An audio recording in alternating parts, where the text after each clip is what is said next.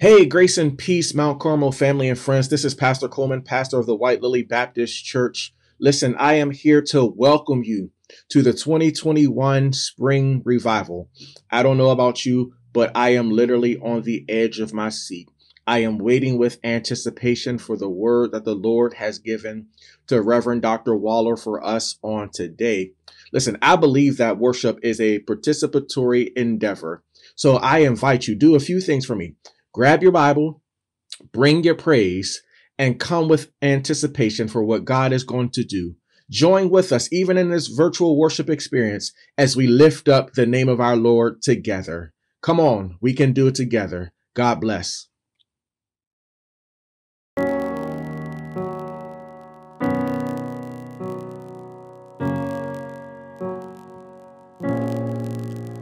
I see shadows you see whole.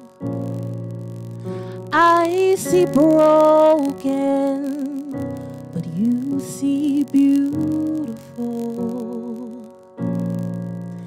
And you're helping me to believe. Oh, you're restoring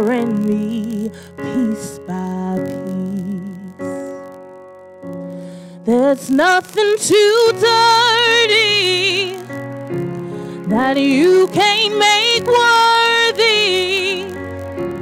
You wash me in mercy. I am clean. There's nothing too dirty, no, that you can't make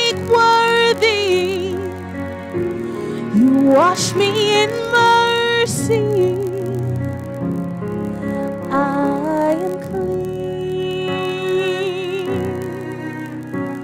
Ooh. What was dead now lives again.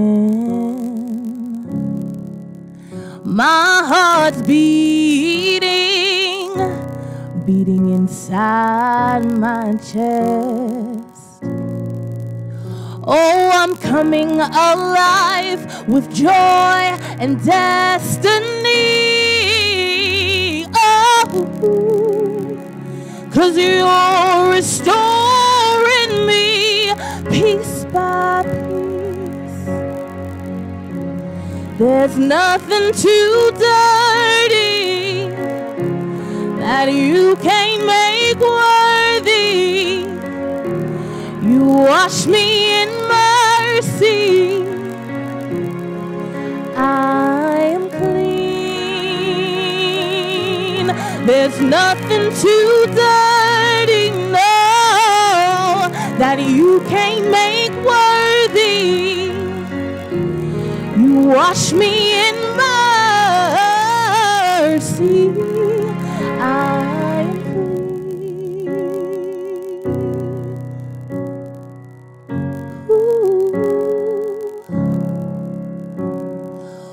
Washed in the blood of your sacrifice. Your blood flowed red and made me white. My dirty rags all purified. I am clean. I'm washed in the blood of your sacrifice. Your blood flowed red and made me white. My dirty rags all purified. I am clean. Oh God, I'm washed in the blood of your sacrifice, Jesus. Your blood flowed red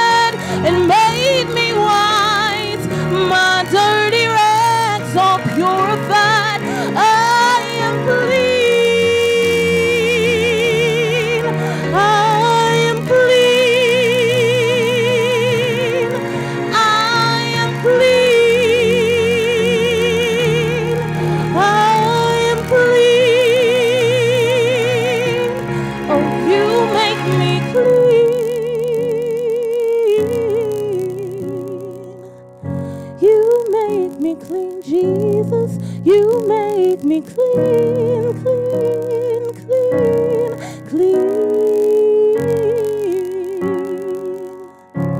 You make me clean.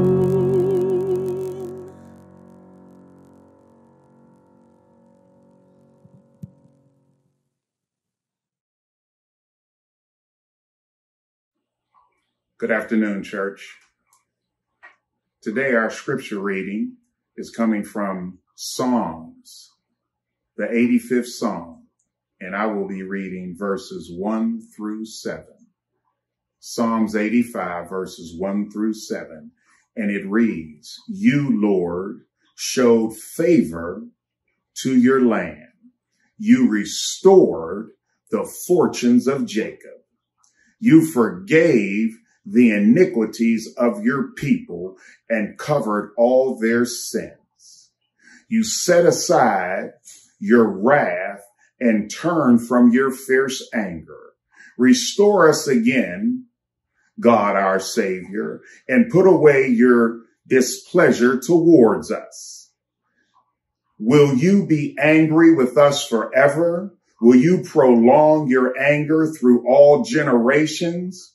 Will you not revive us again that your people may rejoice in you? Show us your unfailing love, Lord, and grant us your salvation. Amen. This is the word of God. Let us pray. Our Father and our God, we thank you for Thank you, Jesus. another opportunity just to gather in the form of a revival. Mhm. Lord, we need you to revive us again. Yes. God, we need for you to, some of us need chest compressions and Mhm. some of us need mouth to mouth Mhm. resuscitations. But God, we need to be revived that we might rejoice. So Father, be with us during this revival. Have your way, oh God. Have thine own Send way, your Lord. healing virtue. Give Yes, us Jesus. joy. Give us peace. Give us um, love. Uh, Lord, let us just have a sense of being revived at the end of this. But God, we ask that you not revive us just so that we can stay and be revived with ourselves. But God, we pray in the name of Jesus that when you revive us, we will assist you in reviving others. Yes, Lord. God, we pray that at the end of this revival, somebody will ask, what must I do hmm to be saved? I want to know the God that they serve. And so God, we ask that you would just show up and show out and do what you do best. Be with us during our time together. Bless the preacher, Lord God. Bless the word, oh Father God. Yes, And let it just have its way. We give you praise, we give you glory, and we give you honor. Mhm. In Jesus' name we pray. Hallelujah and amen. Amen.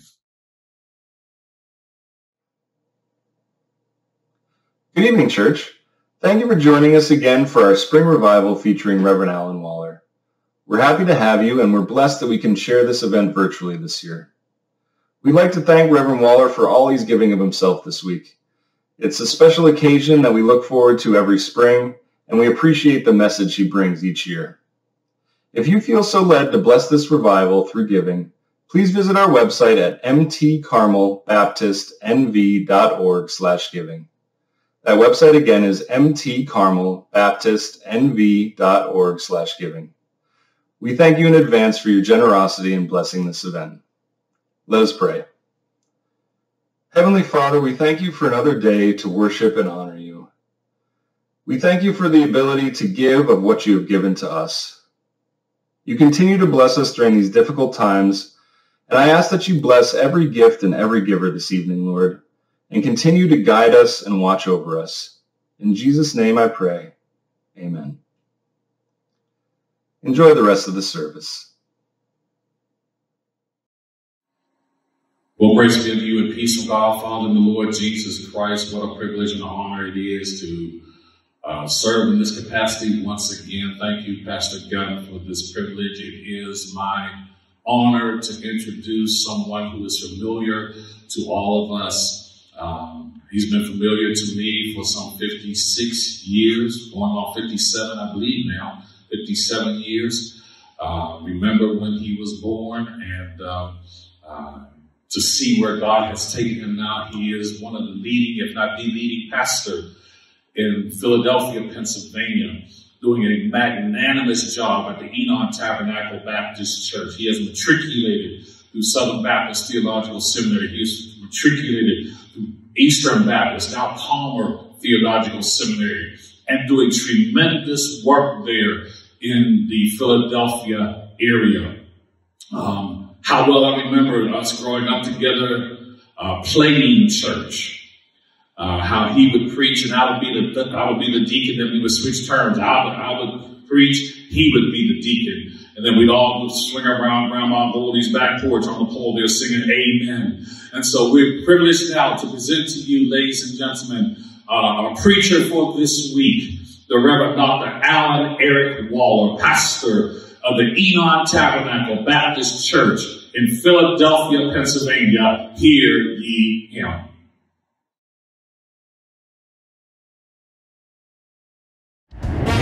Oh, this song is for those that have no doubt in their minds. I made it out all right.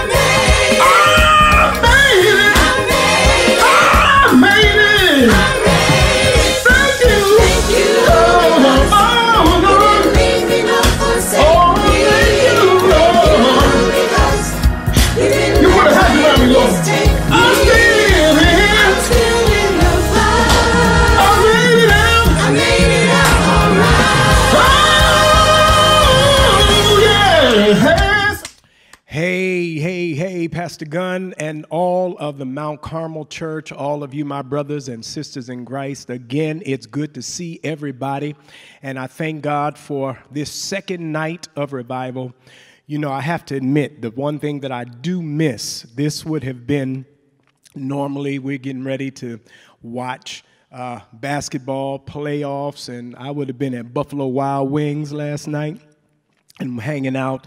I would have gone over to Monroeville Mall today, uh, and I would have hung out in there and bought some cologne and just kind of hung out. Probably got some sneaks, done something.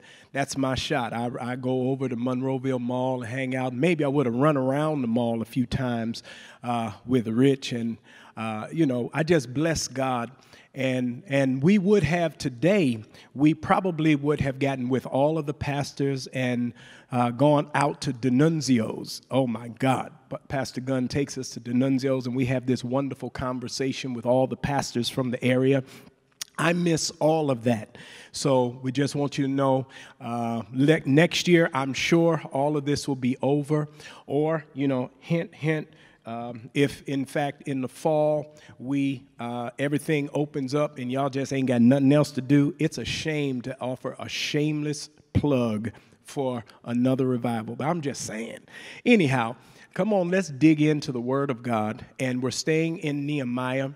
Uh, I, I want to challenge us because we are in a unique period. I think that if some stuff doesn't happen in this window, it might not happen. And so we need to recognize this season for what it is. So I'm going to invite you to look at Nehemiah 2 and 8. Nehemiah 2 and 8. Come on, let's dig in. God, I bless you and thank you for the opportunity to preach your word. I've studied, but I need your strength, prepared, but I need your power, willing and I want to, but only you can make me able. Silently now I wait for thee. Ready, my Lord, thy will to see. Open mine eyes and illumine me. Spirit divine. Amen. Amen. You'll find in Nehemiah 2 and 8 these words. And a letter unto Asaph, the keeper of the king's forest, that he may give me timber to make beams for the gates of the palace which appertain to the house and for the wall of the city, and for the house that I shall enter into. And the king granted me according to the good hand of my God upon me. For just a few moments tonight, as we dig in further into this revival experience, I want to talk about reparations. Reparations. You know, there's a lot of discussion going on in America right now about what does America owe black people. There's something called the H.R. 40, which is a bill that could be passed by Congress, should be passed by Congress. And it all it is, H.R. 40 is a House resolution to study what reparations, a proposal for reparations, and what that might look like. H.R. 40 is not for reparations, it is just to put a commission together to study whether it should happen. And this is not foreign to America. People think that America has never done anything like this. In 1988, the Civil Liberties Act led to the reparations Japanese Americans for the atrocities done in World War II. In 1990, there were 20,000 checks, 20,000 checks to, uh, and 80,000 checks to people uh, of, about $120,000 that uh, ultimately averaged out to about $1,000 per person. In 1946, uh, Congress issued the Indian Claims Commission, which was $1.3 billion for the treatment of Native Americans, Japanese for what happened in World War II, Indians or Native Americans for what happened to them on this land. There has been an attempt at reparations. And maybe we need to discuss those 400 years that African Americans labored, and specifically the 250 years that we built this country. Now, I know I've just made up a word, reparations, because I think that reparations speaks to the fact that if we're going to repair this breach, it's much more than, but inclusive of money. That's what I'm really talking about today, and I hope you'll stay with me because we're going to end up at the cross. But this is where Nehemiah, you know, last night we talked about Nehemiah recognizing his position with Artaxerxes, gives him an opportunity to go and address the issue. He recognizes he's in position, but then he makes an ask. He goes in, he realizes this is what's going on. The walls are torn down, the wood is torn down, and he says, I need timber. The king has a forest. I need the king to give me a letter to go into his forest and in his forest cut down some wood to rebuild my community. That's exactly what it is. That's exactly what I want to talk about. And you may not, you may wonder if this is even, should this even be in a revival? Shouldn't I be preaching Jesus? Stick with me. We're going to get to the cross because at the end of the day, what we're looking for is to rebuild America, but you cannot rebuild America if a large portion of the house of America is under, is under construction. So, the first thing that comes up in the text in reparations is uh, economics is key. Nehemiah went to Artaxerxes and asked for wood. You know, what's interesting is that we often think of Martin Luther King as only being a dreamer. Uh, but Cornel West, in his book, The Radical King, pointed out that Martin Luther King made much more than, than speeches about his dream. In fact, every financial conversation going on in America right now, when you hear them talking about $15 minimum wage. That comes from Martin King. You see, it is the $2 that Martin King talked about in 1968 that Uh, according to inflation, would be $15 today. Martin King was suggested, and he was killed not because of his dream, he was killed because he began to talk to this country about sharing with black people the appropriate economic leverage, and he began to talk about the war.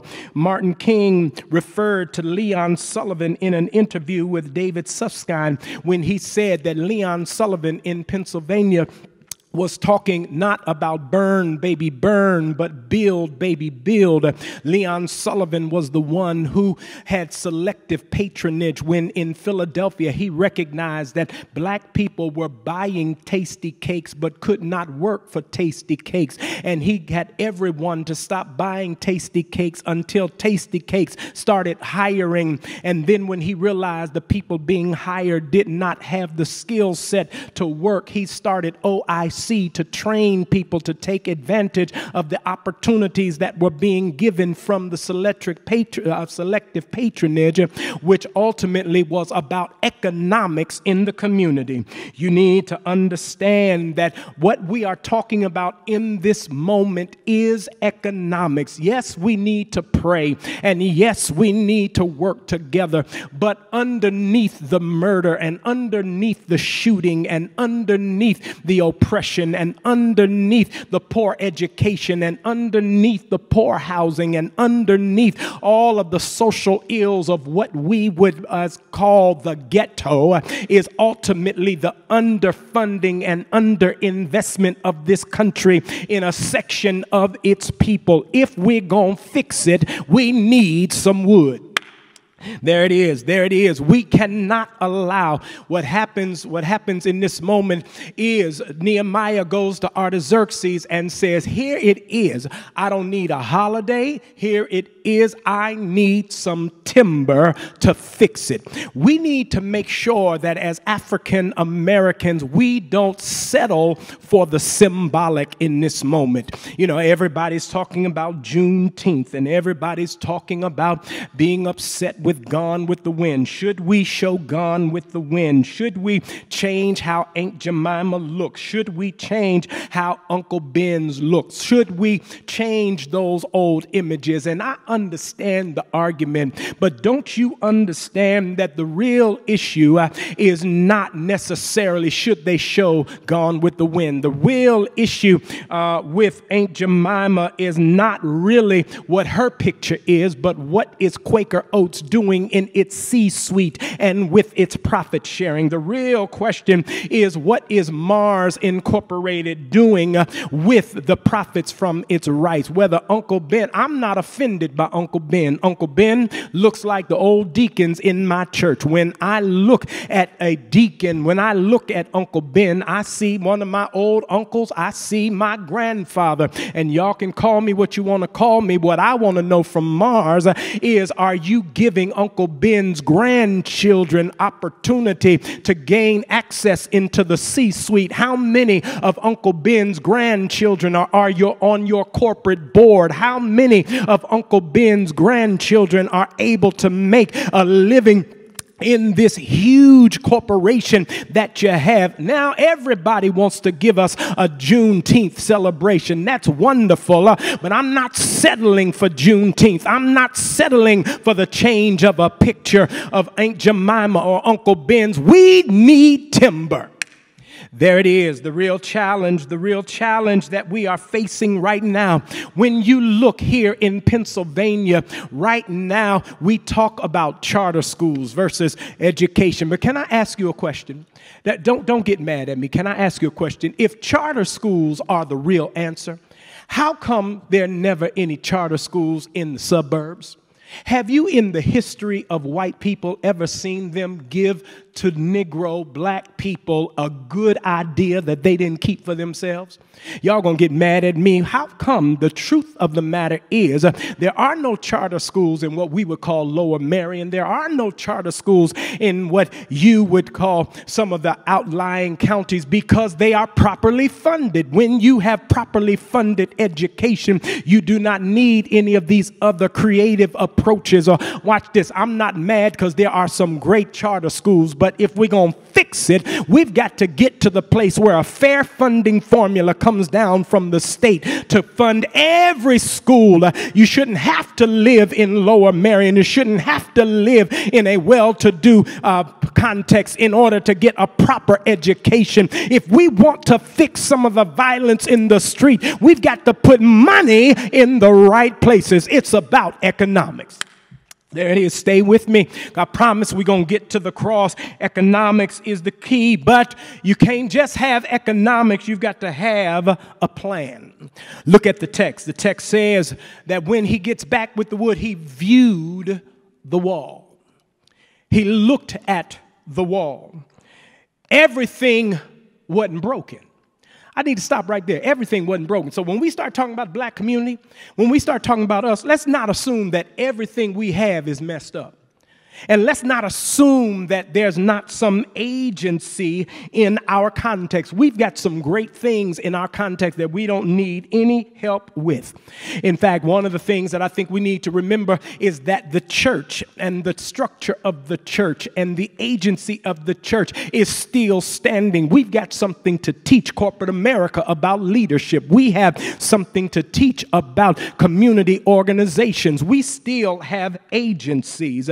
We we need to understand that we have to address and help use the church as a way to address the various gates in our community. We have to have a plan. Somebody has to be on the political gate, and somebody has to be on the religious gate, and somebody has to be on the community gate, and somebody has to be on the cultural gate, and somebody has to be on the economic gate. Can I stop right there? See if I can make this thing plain.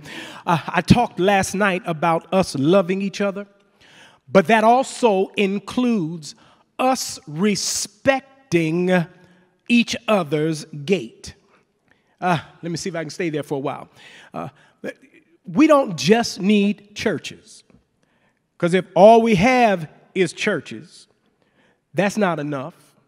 But if we have no churches, that's not enough. If all we have are schools, that's not enough. But if we don't have schools, that's not enough. If all we have is black politicians, that's not enough. But if we have no black politicians, that's not enough.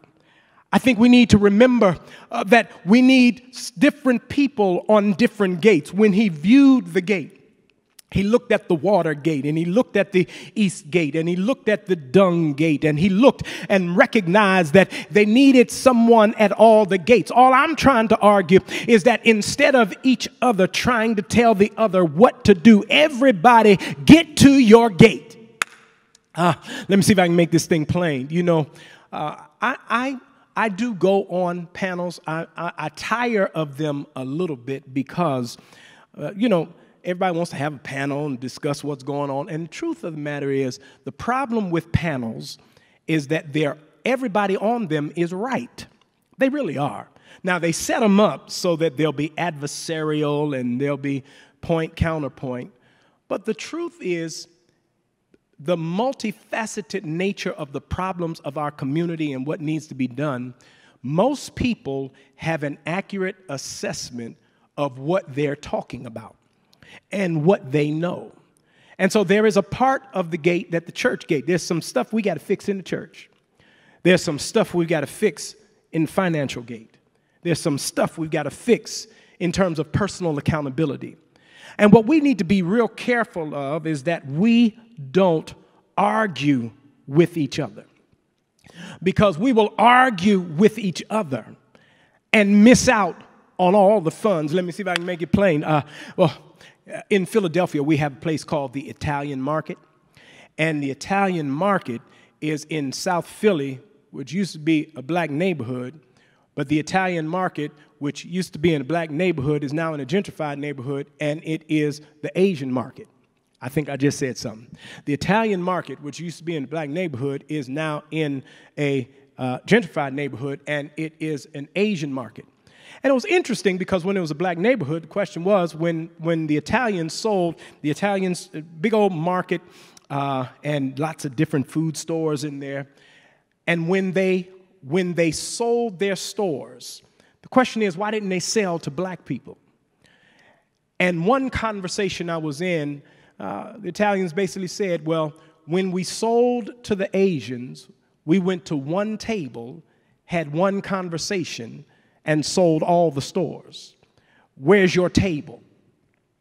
That's the indictment in our community. If there were a wholesale commitment, if there were an opportunity for economic development, the question is where do we gather? Where is our chamber? Where do we come together? Where do we work together? I want to suggest to you that we all need to recognize our gates and do what we do, but have a central place where we work together. I'm a pastor and I'm satisfied. That's all I am. That's all I'm going to be. I don't need to be on another another gate. I'm on the church gate. I am going to fight for our people from the lens of the church and from the pulpit and from the ministry of the gospel of Jesus Christ. But we need more than just the church. Everybody has to get to their gate. If we're going to make it, if we're going to have reparations, we need economics because economics are key. We have to have a plan but then watch this. We need to understand the enemy. Need to understand the enemy. They, they named in here, if when you when you read this whole story, I just read our focus verse, but when you read the whole story, they they name these, these guys Sanballat and Tobiah. Sanballat, the king of the Horonites, this came and he opposed this rebuilding. The Horonites and the Ammonites were driven from the land uh, themselves, and they themselves could not do it. And they, what, they recognized that they needed to cause confusion because they did not want Jerusalem to be rebuilt. Sanballat and Tobiah, they were just there to frustrate them. They were there to try to tear them down. They were there to pick at them. They were there to keep is to keep Jerusalem from rebuilding. You need to understand that we wrestle with racist and ignorance and bias and internalized oppression, all that stem out of a Sanballat spirit. You need to understand that it's one thing to be biased, it's another thing to be ignorant, it's another thing to be a racist. Bias is something we all have, and everyone is responsible for dealing with their own bias. Ignorance is something that many have, and ignorance can be cured by, uh, by truth, and ignorance can be cured by teaching. But then racism racism is when your ignorance and your bias gets codified into systemic principles uh, and mores and values. We're wrestling with all of that. When we start talking about rebuilding the black community, we've got to address the internalized oppression in us. We have to address the ignorance in our enemies. We have to deal with the bias that comes from everyone, and we have to negotiate while systematically tearing apart the racist systems that we are dealing with. It's not, it is by design that our schools are the way they are. It is by design that policing in our community is the way that it is. It is by design that our neighborhoods look the way they are. So we have to chew gum and walk at the same time. We have to recognize that there is a Sanballat spirit that we are dealing with. We have to recognize uh, that there is sometimes ignorance, sometimes bias, all the time racist, and we have to recognize the own enemy inside of us and recognize that while we're building, uh, we have to fight as well. Yeah, there it is, there it is, there it is. Sometimes I need to deal with my own voice in my own head. You know, it's interesting to have a conversation with younger men. That's why the internal conversation. Understanding the enemy means making sure that our internal conversations are not treating each other as the enemy, but we are rescuing each other from the internalized oppression that has been put on us by our oppressors. Let me see if I can make it plain. I'm 57 years old, and most of you all are kind of in, in, in my, if you're listening to me, you're probably in my, my range. We were raised with a certain set of principles and views that seemingly this younger generation wants to challenge. And I understand their challenge because uh, we sort of accept that the system is what it is and we figured out how to beat it. This younger generation is saying, why does it have to be that way? So, you know, I've, I've accepted, I've grown up accepting the fact that I've got to run faster than my white counterpart to be considered equal. I've got to be better. And because of that, I've worked all my life to be. This younger generation is saying, why? This younger generation looks at the reality that when there was a black president, he had to be superior when the last two white presidents we've had have been mediocre at best. I mean, a, the George Bush or the Donald Trump in our community is somewhere on a corner sleep right now. That's the difference of the system. George Bush and Donald Trump, in terms of character and ability, if they were black, they would be out of the conversation. But because it's America, mediocre can make it when you're white. But Donald Trump, uh, but, but, but Barack Obama had to be a stellar individual. And those of us from that generation accepted it and said, This is what it is, so that's what we will be. This next generation is saying, We're tired of that fight. We're tired of that and we're going to rearrange the system. And I hear that. And so while we rearrange the system, my only pushback on it is let's rearrange the system, but not rearrange it so we can support our own mediocrity. We have to continue to want to be excellent. Got to understand the enemy, understand the enemy out there, and understand the voices that challenge us. But then, we got to trust God. I know you're wondering where this, where this sermon is going because I opened up by reminding you that economics is the key. And I know you're wondering where I'm going because I said that not only do we need some timber in the community, but we need to make sure we've got a plan. And not only do we need to have a plan, but we've got to make sure that we know who the enemy is.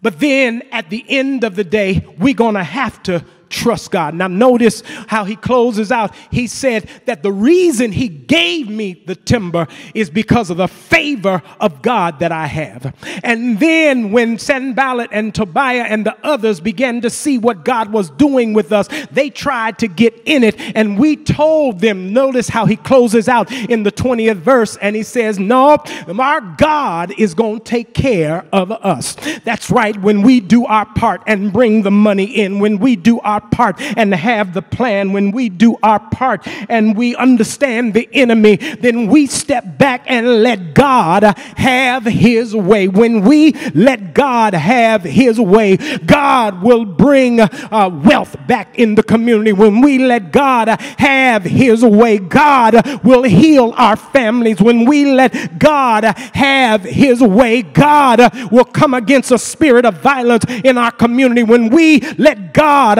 have his way, God uh, will fix it. Have I got a witness in here this evening? Uh, I need somebody to understand that it's not either or, it's both and. You need to understand that where there needs to be financial investment and there needs to be corporate investment and there needs to be political engagement, but then all of us have to come into the house of the of God uh, and say, God, uh, we lift our hands to thee, no other help we know. I am convinced that if the black community is going to come together, I am convinced that if Braddock is going to rise, I am convinced that if Crestas Terrace is going to be all right, I am convinced that if Philadelphia is going to make it, I am convinced that if Donora is going to be all right, it's because the church is going to rise up. And when the church rises up, then our people will rise up. And when our people rise up, we will begin to point to others and say, Look where the Lord has brought us from. There it is. Look where the Lord has brought us from. Look what God has done. And that's where we need to make sure we understand where our help has really come from. Our help has come from the Lord. Our help, if we do what we are supposed to do and if we point people to God, God will take care of us. And I need somebody to know right now that it's not either or, it's both and it is that the Lord will take care of you. I trust in God.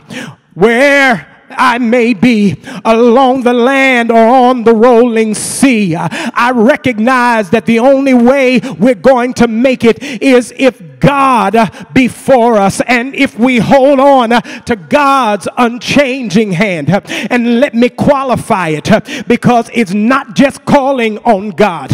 I need you to know that the only reason that we're here is because the God that we call on revealed himself through a man named Jesus. And because he revealed himself through a man named Jesus, he gives us access access. And because we have access, we have an opportunity. And because we have an opportunity, I know that everything is going to be all right. The reason I took these last two nights to lift up the political and to lift up the social and to lift up the community is because I believe that in this post pandemic, I believe that as we're going back into church, I believe uh, that if everything is opening up, uh, this is an opportunity uh, to right all of the wrongs that have been put on our people, to right all of the wrongs that have been done to our community. This is an opportunity to say to Governor Wolf, put the right amount of money into the state budget so we can have a fair funding formula for every child that goes to public school uh, in the state of Pennsylvania, uh, we can say to all of corporate America, uh, open up your coffers uh, and put timber back in the valley, uh, put timber back in North Philly, uh, put timber back in Northwest Philly. We can say to this country, you've neglected the community for far too long, but we're here to, to we're here to receive what God has for us. And you'll find out, America, that when we come up, then everybody's coming up. When we come up, then everybody will be blessed. When we are blessed, then we truly will be a place where justice will roll down. We truly will be a place where every valley is exalted and every mountain is made low, and we will be the place uh, where we lift up uh, the name of Jesus, uh, where we celebrate who God is, where God has brought us, and where God has taken us. In the all right, say yes. Listen, we gonna fix this thing. we gonna make this thing be what God intended it to be. Let's not get sidetracked in ceremonial celebrations. Let's recognize what God has called us to and what God is doing in us in this moment. Let's recognize this moment as the precipice that it is. This is a time where we can walk in and hear Maya Angelou saying that we are the hopes and the dreams of the slaves. This is the time where we can truly suggest to this country black lives do matter. And let me let me hear, let me help you with somebody who's uncomfortable with me and all of this. When we say black lives matter, you need to understand that two, T O O, really is implied on the end of that sentence. That's what makes Black Lives Matter mean something totally different than white lives matter, all lives matter. We know white lives matter. We know all lives matter. We know blue lives matter. The question of this country is do black lives matter? And when we say black lives matter, we're saying black lives matter too. And this is a moment that we're calling this country to live into that phrase. It's going to take some timber, it's going to take some commitment. If you're still walking with me, I want to invite you. We're going we're to come back here tomorrow night. We can come back here tomorrow night and shout. Come back here tomorrow night. But for these two nights, I needed to challenge us to recognize where we are, recognize what this last year has been, recognize what we have to do, recognize our role in repairing and challenging this country to do right by the very community that built it. If I'm talking to you tonight and you don't know the God that I've been preaching about, if you don't know the God who is the repairer of the breach, the God who is the builder of our lives, I want to invite you to come to know him. I want to invite you to find your place in this struggle. God, I bless you and I thank you for tonight. Thank you for another opportunity to preach your word, to wrestle with your text, to wrestle, oh God, with what you're calling us to do and to be. Help us, Lord, to hear the cupbearer's challenge and help us to work for reparations. Help us to bring all things under you. Now, God, as we get ready to take our seats and as we prepare for our benediction, we would, Lord, that you use this word, hide it in our hearts, that we would not sin against you. We ask these and all of the blessings in the matchless, marvelous, and majestic name of Jesus the Christ. And for his sake we do pray. Let us all say, Amen. My, my, my, my, my. I don't know how to tell you how blessed I am. That word was just meant for us for the time like this. And we thank God for that word. It becomes our responsibility to challenge ourselves and others on where we fall in the place of preaching. We're not permitted to hear the word of God and just walk away saying, my did not we have a good time? Yes, we did. But this is a time when we need to reflect on who we are, what direction our life is going on, and whether or not we need to make a turnabout. And so I'm asking someone out there tonight to really think in terms of are you as close to God as you want to be, as you could be, or even as you used to be?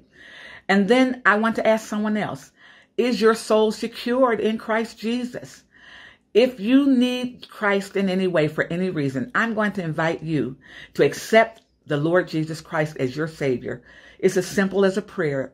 If you believe He really is the Son of God, the Savior of the world, and that He died for our sin, if you believe that He was buried but rose on the third day and left our sin in the grave, if you believe He's coming back again and you want to go back with Him, then please don't let the moment pass. Just ask Him to forgive you of your sin, come into your life and be your Lord and Savior, or ask Him to restore back the joy of your salvation.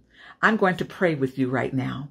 Father God, I come in the name of Jesus and I lift up those who are now reaching out to you for whatever reason. I'm asking you to meet each and every one of them at the point of their need and bless them abundantly as they live out and work out their salvation with fear and trembling. Thank you, Jesus, because I know that you are answering this prayer on their behalf. Thank you, Lord. Amen. And now, may the grace of our Lord and Savior Jesus Christ, the love of God, and the communion of his Holy Spirit rest, rule, and abide with you all. Let every heart say together, right where you are, Amen. God bless you.